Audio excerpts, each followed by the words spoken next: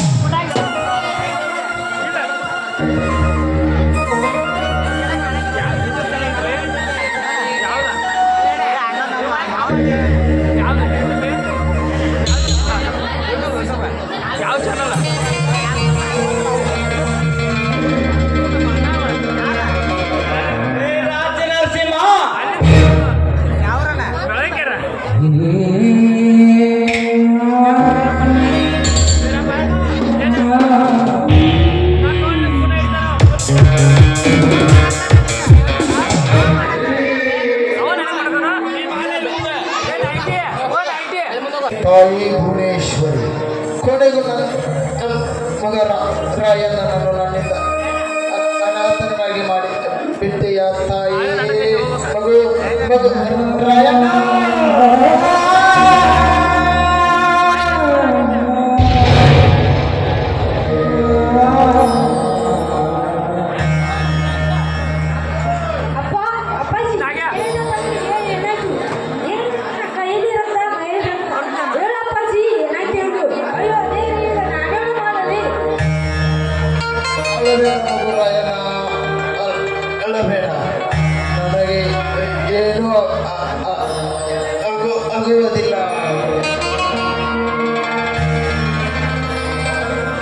ಮೇಲೆ ರಕ್ತ ಗೊತ್ತಿಲ್ಲ ನಾನು ಸ್ಕೂಲ್ ಹೋಗಿ ಬರೋ ಅಪ್ಪಾಜಿ ಹೊಟ್ಟೆಲಿ ರಕ್ತ ಬಿಡ್ತಿತ್ತು ಅಷ್ಟೇ ನನಗೆ ಗೊತ್ತಿರೋದು ಬೇಡ. ನೀವಾದ್ರೆ ಏನಾಯ್ತು ಅಂದು ಹೇಳ್ತೀನಿ ಸಂಜೀವಪ್ಪ? ಐ ಹೇಳ್ತೀನಿ. ಅದಕ್ಕಿಂತ ಮುಂಚೆ ನನ್ನ ನನ್ನ ಮಗ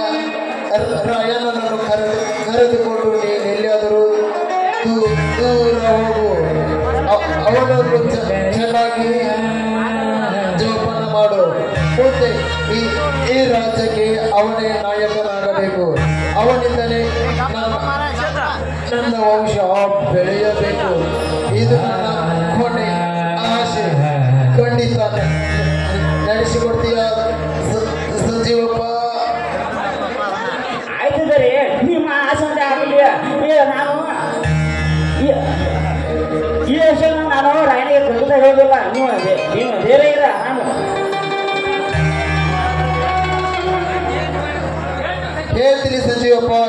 ಹೇಳ್ತೀನಿ.